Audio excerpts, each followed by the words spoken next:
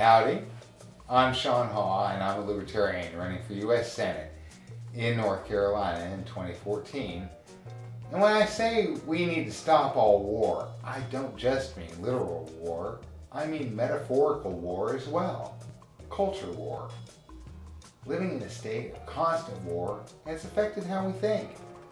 You're always looking for people with whom to be at war, and now we are constantly at war with each other. Look, there is no political solution that starts with the other half of the country dropping dead. We need to stop being at war with each other. The only way we are ever going to have any chance of solving our problems is if we try to reason with each other. That means we have to try to understand each other. And that means we have to accept that everyone, even people who disagree with us, are all human beings worthy of some dignity and respect, just like we are. If there is one thing I could change about public discourse, it would be for people to start thinking in terms of right and wrong instead of good versus evil. Because you know when somebody's wrong, well, you might could reason with them. You can explain to them why they're wrong and hope that they'll learn something and get right. And maybe you might find that you were wrong and you'll be happy to get right yourself.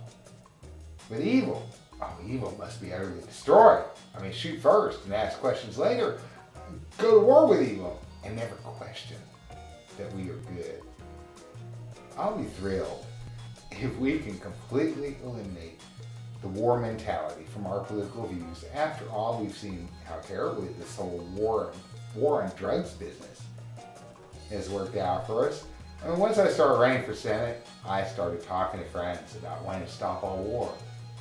One conservative friend of mine asked me if that meant I was going to do something about the war on the preborn.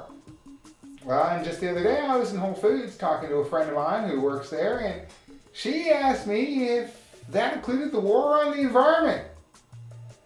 I mean, both times I, I just had to show them the face palm. No, no. There is no war. There is no war on the preborn. There is no war on the environment. There is no war on women. None of that stuff.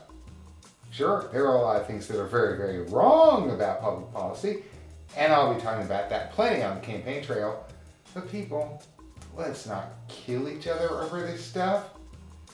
We need to stop being at war in every aspect of our lives and know that there are people in government and the media who have a vested interest in promoting culture war. After all, conflict makes great headlines. Those who might want to maintain power over us when we're busy fighting over each other, the more they can get, say, liberals and conservatives to demonize each other, well, the less likely they're ever going to look at each other and realize that maybe they both have a common enemy in the people who are telling them to fight each other. Now, there are so many ways that those who want to control us try to keep us divided. There's race, gender, religion, politics, what have you. We need to stop voting for politicians that want us to be at war with our fellow Americans. We need to lay down our arms in the culture wars and negotiate peace. We need to talk to each other with basic human respect. We must share with each other our needs, our fears, our hopes, and our values. That's the only way we can achieve our goals in a permanent way that advances the lives of all people. I'm Sean Haugh, and I am not at war.